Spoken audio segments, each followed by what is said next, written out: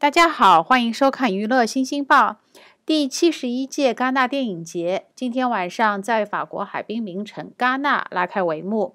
共二十一部正式参赛电影开始角逐金棕榈奖。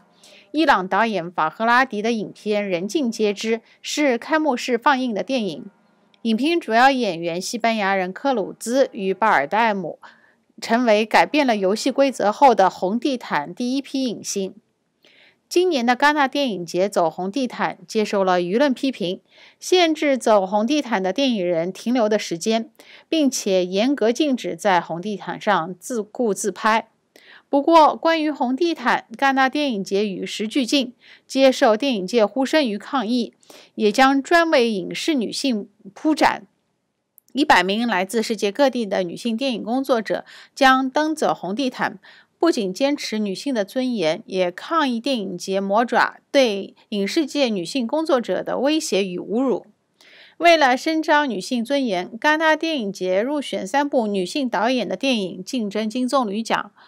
而今年的戛纳电影节第一次也组成由女性评委占多数的评审委员会，该评审团由澳大利亚女星布兰切特担任评委主席。今年的戛纳电影节除了红地毯上禁止自拍，还取消了参赛影片放映前对媒体先映的传统做法。另一个缺席被指是美国电影大亨制片人哈维·温斯坦的消失，他被指控性侵超过百名女性影人。报道强调，伊朗导演和俄罗斯导演各因国内的当局禁令而缺席。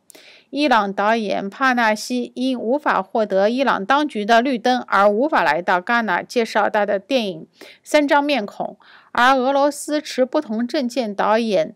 塞雷布能尼科夫因被俄罗斯当局以挪用公款而指控被禁止旅行。另外，今年戛纳电影节网络电影平台 Netflix 没有出席电影节展出活动，原因是戛纳电影节要求参展人员必须是携电影院银幕放映的电影参加电影节市场交流，而 Netflix 因担心受到限制而放弃戛纳电影节。以上是今天时段的娱乐新星报，感谢收看。